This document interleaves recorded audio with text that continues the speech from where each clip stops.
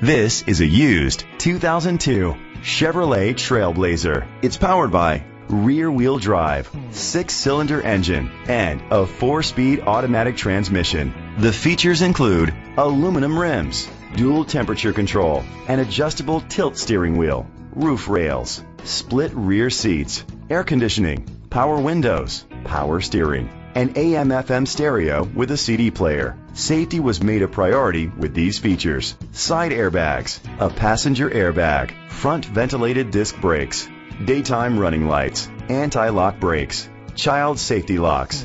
Rest easy knowing this vehicle comes with a Carfax Vehicle History Report from Carfax, the most trusted provider of vehicle history information.